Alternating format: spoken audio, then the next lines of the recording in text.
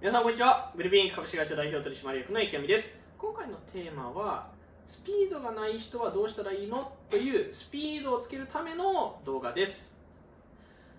えー、今回のテーマはですね、まあ、どういうところから始まっているかというとあの、まあ、まずですねあなたは夏場のトレーニング論という電子書籍もうお読みいただけましたか、えー、まだお読みいただいていない方は絶対にお役に立ちますので必ずお読みください。でこの夏場のトレーニング欄のその読者様からですね、まあ、こんなあのメールをいただいてまあ、夏場のそのトレーニング論のその中にですね、まあ、一種のガイドラインとしてえー、大体こういう練習したらいいんじゃないですかみたいなそのガイドラインを書いといたんですね。で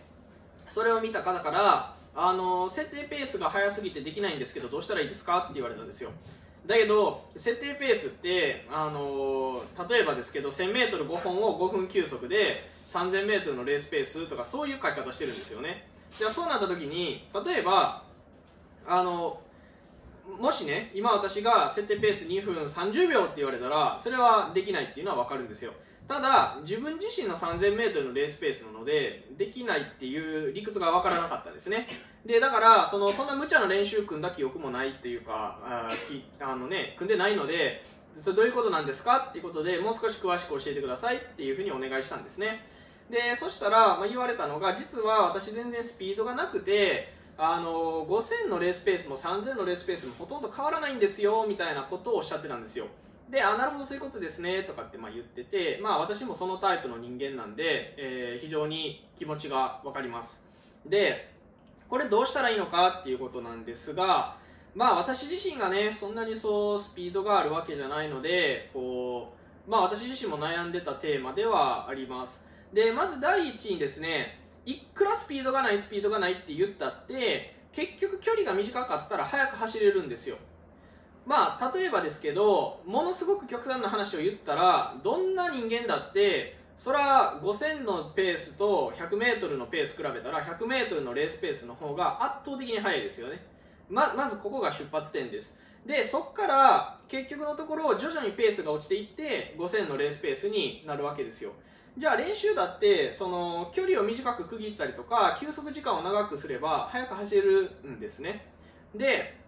まあ私もその昔言われたのがあのまあ大牟田高校っていう全国高校駅伝何回も入賞してるチームがあるんですけどその大牟田高校の監督をされている赤池先生からまあ、池ちゃん、最後はスピードは慣れだよっていうふうにまあ言っていただいてですね、あ、なるほどなとかってまあいうふうに思ったんですけど、まあ本当その通りで、結局人間って同じ動作を何回も何回も繰り返していったら慣れていくんですよね。で慣れていってその動きを経済的にこなすことができるようになっていきます。これ運動生理学の用語では効率よくとは言わないですね。経済的にっていうふうに言います。で経済的にっていうのはどういうことかっていうと同じ動作をなるべく少ないエネルギーでできるようになっていくっていうことですね。だから例えば、まあ、おそらくですけど私の 100m の全力で走った時のスピードってもう多分10年ぐらい変わってないと思います。でその10年ぐらい変わってないっていう中でただえー、まあそっか。でも10年前って言ったら高校生ですね。もうちょっとしましょうか。13年前。もう13年ぐらいは変わってないはずです。中学校ぐらいから多分もう変わってないんで13年ぐらいはほぼほぼ変わってないんですね。ただ一方で400を64秒で走った時のその余裕度みたいなのはやっぱり今の方が高いんですよね。中3の時の自分よりも。でそれは何でかって言ったらまあその辺りのペースをですねある程度は反復して慣れてるからですよね。まあただですねあんまりその1500のレースとか出ないのでそのペースって私のターゲットペースではないですけどただ例えば1キロ3分ペースとか、まあ、1キロ2分50秒ペースとかだったら明らかに今の方が余裕度は高いんですよ。でそれは何でかって言ったらもうその辺りのペースを何回も何回も反復してるからですよね。特に1キロ3分5秒から2分55秒ぐらいのペースに関してはもう何回も反復してるのでやっぱりその辺りのペースの余裕度っていうのは、まあ、10年前とかとは比べ物にならないぐらいやっぱり高いです。でえー、レペティショントレーニングとか、まあ、ショートインターバルとかも結局同じことが言えて例えば3000のレースペースを何回も何回も繰り返していったらある程度そのペースに対して余裕が持てるようになっていくんですね。まあもちろんですねだじゃあ余裕が持てたら 5000m 走りきれるんですかっていうとそれは分かんないですけどただ可能性としてはもちろんそっちの方が可能性は高いじゃないですか。その3000のレースペースに慣れていけば5000のレースペースだって速くなっていきますよね。で話を元に戻すとその人の場合はその3000のレースペースと5000のレースペースがあんまり変わらないんですけどみたいな話だったんですけどまあそうは言ってもですね400のレースペースと5000のレースペースを比べたら人間である以上はですよ、まあ、その人がその火星から来たとかだったらよくわかんないですけどその人間である以上は絶対に400のレースペースの方が圧倒的に速いんですよ。でおそらく800のレースペースの方が圧倒的に速いし1500と5000を比べたって1500のレースペースの方が圧倒的に速いはずなんですね。でそういうふうに考えたら例えば400を400つなぎとか300を300つなぎで、えレペティションとかやったら絶対今の自分よりも速いペースっていうものを体に覚えさせることができます。だからまああまずはこれをやっていけばですね基礎スピードはついていくんですよっていうことですね。まあ、私自身もこういう中距離系の種目に一時期力を入れていた時期があってその頃はあの明らかに460秒とかに対する余裕度っていうのは、えー、人生の他の時期よりも高かったですね。まあとはいえですねせいぜい私はあの 1000m2 分32秒とかその程度までしか行きませんでしたけどまあそれでも、うん、一応そこまでは行くんですよね。いくらスタミナ型とはいえ。えー、だからマラソンランナーとかでもちゃんと練習すればある程度は伸びるんですよ。でそういう経験を持っておくっていうことが絶対マラソンにも生きてくるので、まあ、やっといて損はないんですね。まずこれが1つです。だから基礎的なスピードに関してはあの距離を短く区切っていけば絶対誰でもつくんですよっていうことですね、まあ、距離を短くするプラス、えー、休息時間を長くするプラス反復回数を増やしていくっていうことですよね。でも最終的には慣れなので人間でたくさん反復すれば反復するほど慣れるんですよ。それは他の種目と一緒ですよね、えー、野球だってそうじゃないですか。バットスイングね。そのプロになるとかだったらまた話変わってくるんでしょうけど基本的には全くやってない人よりもたくさんバット振ってる人の方があの飛んでくるボールを打てる確率は高いわけじゃないですか。まあそれと同じ理屈ですよね。そのペースで何回も何回も反復している人の方がそのペースに対する慣れ度は高いんですね。で、えー、その時に絶対にゆっくり走っても意味がなくて速く走る必要はあるんですね。で速く速く走る距離を増やしていこうと思ったら1回あたりに走る距離を短くして休息時間をある程度長くすれば、まあ、たくさん走ることができますよね、まあ、単純な話で 1500m 全力で走れって言われたら1500しかそのペースで走れないけど例えば410本を400つなぎでやったら 4000m を1500のレースペースで走ることが可能になりますよね。まあ、そうやってこう慣れを増やしていくってことですね、まあ、これが基本的な1つ目の考え方です。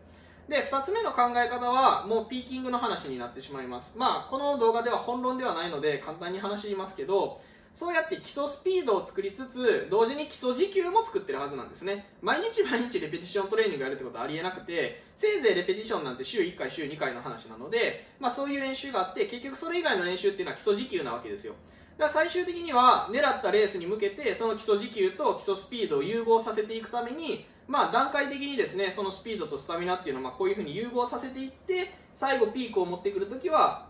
もうスピードとスタミナを融合させてしまうっていうことですね。まあ単純な理屈で例えば 5000m14 分35秒で走りますってなった時に 5000m を14分35秒で走るスピードっていう言い方もできるし 1000m2 分55秒で休憩を休憩挟まずに 5000m 走りきる持久力っていう言い方もできますよね、まあ、結局最後はスピードとスタミナっていうのは融合させないと意味がありません。ただまあその大前提として基礎スピードがなければもうどうにもならないしあとはですね逆の言い方をすれば自分ではスピードがないって思ってたとしても、まあ、継続的に基礎スピードを取り入れていけばなんとかなるっていうことですね。というわけで今回の動画は以上なんですが最後にあなたに質問です。夏場の練習うまくいってますか？えー、夏場の練習、まあ、私自身もですね、えー、先日、起業後で 5000m の自己ベストを出したりとか、あとあとはですね、他の方からも5キロで自己ベスト出ましたっていうお声もいただいていて、まあ、夏場でもですね、やり方さえ間違えなければ、継続的にいいトレーニングを続けていくことはできます。で、ここで重要なのは、今自己ベストが出たとか出なかったとかっていうそういう話ではないんですよ、えー、今自己ベストが出るってことはある程度いい体調を維持していい練習が継続できているっていうことなんですねえー、確かに夏場は暑いです、えー、暑いですけどポイントを押さえていけば継続的にいい練習をやることができますし秋冬のレースって夏場にしっかりとそのベースを作っておけばつまり基礎土台を作っておけば秋冬のレースって一気にタイムが出るんですよね。であのー、ね何も咲かない寒い日は下へ下へと根を伸ばせっていう言葉ありますけど実は長距離の世界はですね夏場もこれが言えるんですね。夏場にいい練習できてる人っていうのは確かにその時はタイムは出ないです。あの大きな試合もないし、えー、レースに出ることも少ないと思います。ただ目には見えてなくてもですね夏場にしっかりと強固な土台を作ることができればそれで秋冬にちゃんと大輪の花が咲くんですね。まあ、あの植物だってそうじゃないですか。種をまいて水をやってで何にもないじゃないですか。何にも目には見えないですよね。何にも目には見えないんだけど肥料をやって種まいて水やってればちゃんと咲く時期が来たら花が花が咲きますよね。ただやることやってなかったら花が咲かないじゃないですか。それと同じで夏場にやることやってたら秋冬に他の人よりもいい結果が出るんですよ。で今のままでうまくいってる人は全然それで大丈夫なんですが毎年夏場の練習うまくいかないとか、えー、現実に今夏場の練習うまくいっていないという方に絶対読んでいただきたいのが電子書籍夏場のトレーニング論です、えー、動画の概要欄に、詳細を、まあ、詳細ページに飛べる URL を貼っておきますので今すぐ動画の概要欄の URL をクリックして詳細ご確認ください。それではまた次の動画でお会いしましょう。